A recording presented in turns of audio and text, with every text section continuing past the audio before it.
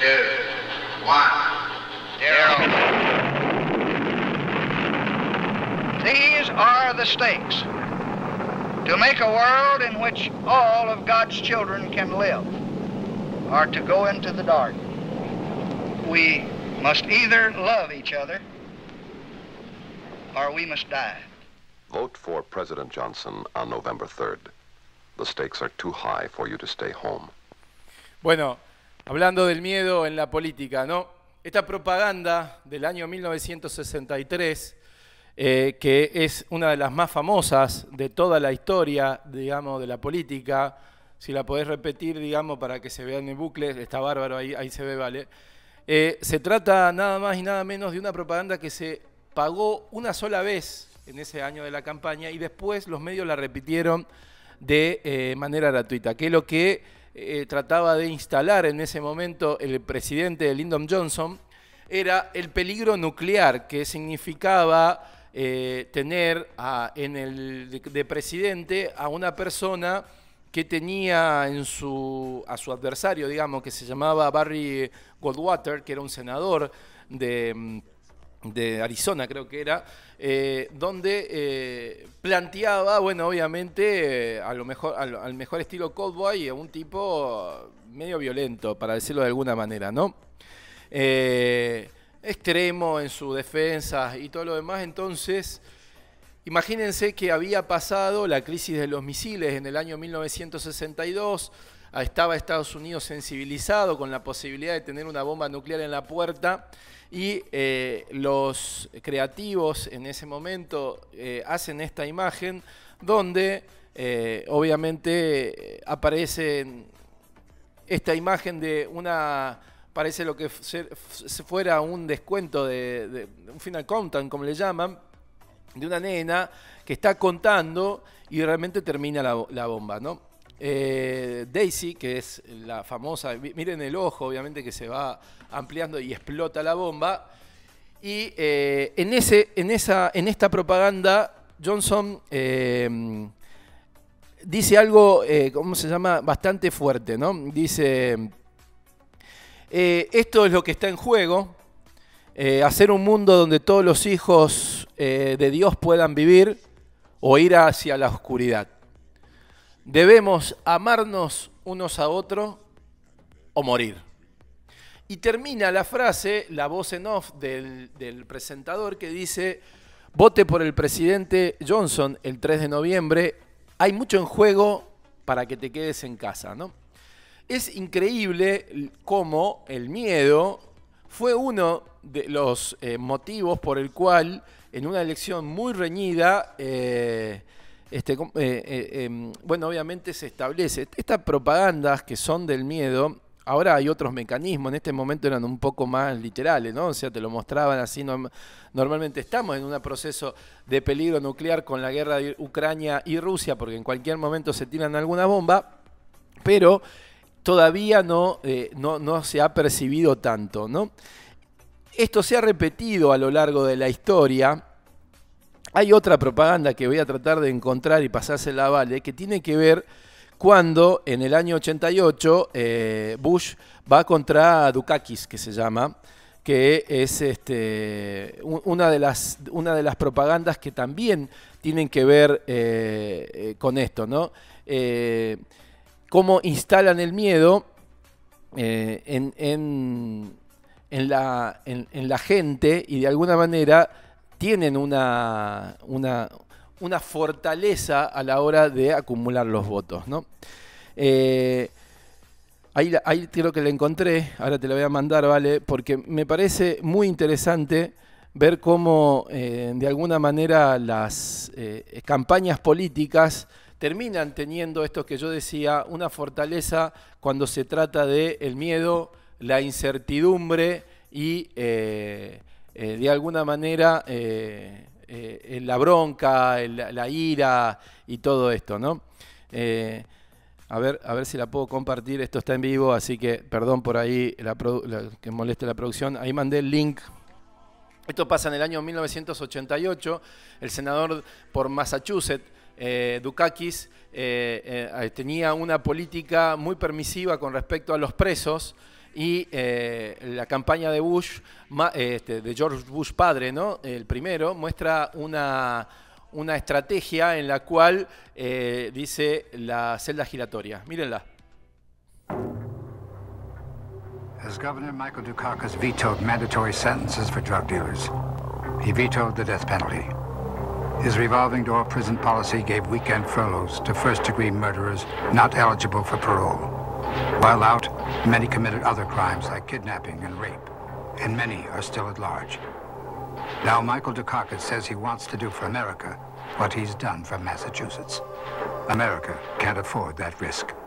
Bueno, lo que dice es que eh, eh, cuando era gobernador de Massachusetts, eh, este, Dukakis aprobó un montón de medidas para que, vetando la cárcel a violadores, a gente que había sido acusada de algún tipo de delito. En el medio de la campaña sucede que uno de esos beneficiados va y quiere robar un lugar, una casa, y termina siendo una noticia nacional de que uno de los que había de alguna manera exonerado el candidato Dukakis termina haciendo este tipo de, eh, de hechos, ¿no? ¿Qué es lo que, qué es lo que hace la campaña de, de- de- Bush muy inteligentemente? Eh, perdón porque estoy medio trabado, porque son temas en vivo, pero hace, fíjense, ¿no? Diseñan una campaña donde se ve a un tipo entrando por una puerta y sale por la otra. La- se llama la puerta giratoria la propaganda. Y se ve cómo los presos entran y salen por el otro lado inmediatamente, diciendo que hay 264 personas que tuvieron ese régimen que no volvieron nunca más, que se escaparon definitivamente. Y termina diciendo el relator, dice, Michael Dukakis quiere hacer en América lo que hizo en Massachusetts. Dice, ahora dice Marcos Dukakis quiere hacer en Estados Unidos, en todo Estados Unidos, lo que hizo en, eh, en Massachusetts. Y termina la frase diciendo, América no puede correr ese riesgo. Bueno, de las dos, ¿no? Lyndon Johnson cuando presenta y dice, lo que está en juego es mucho para que te quedes en casa un domingo, tenés que ir a votar porque si no, bueno, hay una bomba. Y la de este, Bush, este, eh, América no puede correr el riesgo de que un tipo que ha generado una puerta giratoria para que los presos queden libres esté gobernando el país. Hay una propaganda de todas estas este, que la hace mm, este, Hillary Clinton en la primaria contra este, Barack Obama, donde hay un teléfono que está sonando a las 4 de la mañana y dice, son las 4 de la mañana, hay un problema en una parte del mundo, ¿quién va a atender ese teléfono? Y quién va a ser el comandante en jefe de los Estados Unidos que atienda, digamos, ¿no? A ver, si atiende este muchacho que no tiene ni idea de cómo es gobernado, si atiende una persona que fue, que digamos, conoce cómo es la política y sabe lo que hay que hacer cuando hay que at- atender ese teléfono y esa llamada, que seguramente será muy complicada. Bueno, esta cuestión del miedo invade y eh, paraliza un montón de cuestiones y no deja lugar a otro tipo de discusiones. Yo podría estar discutiendo de temas políticos, por lo menos, qué sé yo, no sé, de a la agenda positiva y todo lo demás, y sin embargo, la gente con la ira, con el enojo, con el miedo, eh, directamente la emoción invade toda la pantalla y la posibilidad del voto. Yo hice ahí un pequeño recondo de esto en un, en, una- en un PowerPoint con respecto a las emociones, no sé si lo tenemos por ahí, ¿vale? Que tiene que ver con esto y que se llama obviamente cómo ganarse el corazón de los votantes, ¿no? ¿Por qué digo esto? Porque es la manera en la cual vamos a tener que acostumbrarnos a hacer campañas políticas porque les puedo asegurar que no tiene absolutamente nada que ver, no lo digo yo, lo dicen todos los estudiosos, yo soy un aficionado para decirlo de alguna manera, no me quiero poner en ninguna, en, ninguna posición de eso, pero si ustedes lo ven, las emociones en la política es la lucha por el corazón del pueblo. O sea, a ver, en definitiva, quien manifieste, quien transmita, quien sintonice mejor el sentir de ese momento del pueblo, se lleva los votos.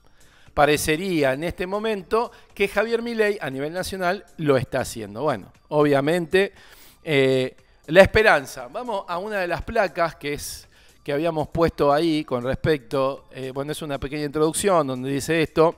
Y la que sigue, la esperanza. Vemos un candidato que esperanza, ¿no? Una esperanza, la emoción poderoso que puede movilizar a los votantes, los candidatos que prometen un futuro mejor y más própero pueden generar entusiasmo y compromiso entre los seguidores. Pero ¿qué pasa?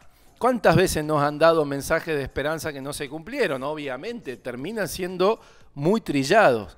Escucharlo a Rodríguez Larreta decir que va a bajar la inflación, y viste, lo dijo, eh, también lo dijo Alberto Fernández, lo dijo el propio Mauricio Macri, lo dijo en los anteriores, los anteriores, los anteriores, de los anteriores. Y con los mismos discursos trillados de hay que tener más trabajo, hay que tener más justicia, una mejor justicia, hay que tener mejor educación. Bueno, son muchos de los lugares comunes. El miedo. El que sigue es el miedo, ¿no? El miedo es una emoción que puede ser utilizada para todas las campañas políticas. Los candidatos pueden instalar y generar temor hacia el adversario o hacia la situación específica para movilizar a los seguidores. Acá hay algo de mi ley cuando dice obviamente eh, se la van a pegar. Chocamos. La vamos a chocar. Si seguimos ahí, chocamos. Se nos vamos al tacho. Pero también Kisilov y algunos sectores del kirchnerismo en los discursos públicos empiezan a instalar, si vuelve la derecha, chao. Mm, y el miedo aparece, obviamente, como decir, si la derecha vuelve al gobierno, la derecha sería Juntos por el Cambio en este caso, eh, la Argentina va a perder todas las oportunidades y todas las cosas que hemos hecho hasta, hasta ahora. Hay un peligro enorme que la derecha vuelva a gobernar. Hay que defender lo que más o menos hasta ahora se consiguió, aunque sea, poco y malo. Pero si la derecha vuelve, otra vez vamos a estar peor. Ponele, va al miedo también como uno de los factores que tiene que ver con esto. El que sigue, la ira.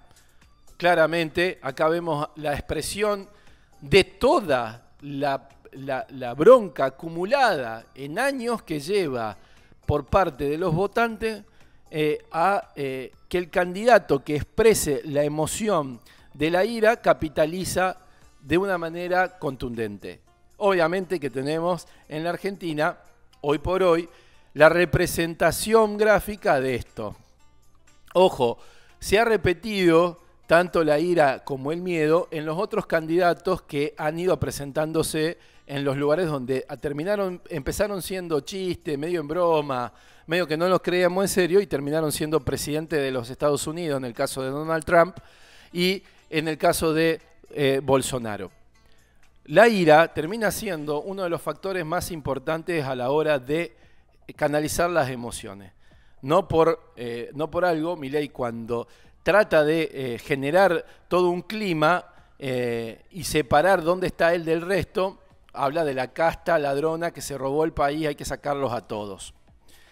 El problema y el miedo de, esto, de esta instalación de estos mensajes es que son antidemocráticos en algún punto. Cuando Milei se presenta a dos voces y dice, si no me aprueban el programa de dolarización, hago una consulta pública o general o una consulta que establece la nueva constitución de la Argentina, es como que no acepto lo que me dicen los representantes del pueblo que están en el Congreso de la Nación, que también los votaron algunas personas, ¿no? O sea, esa cuestión de fondo termina siendo eh, bastante, bastante fuerte. Vamos, vale, a, una de las, de las últimas, la empatía.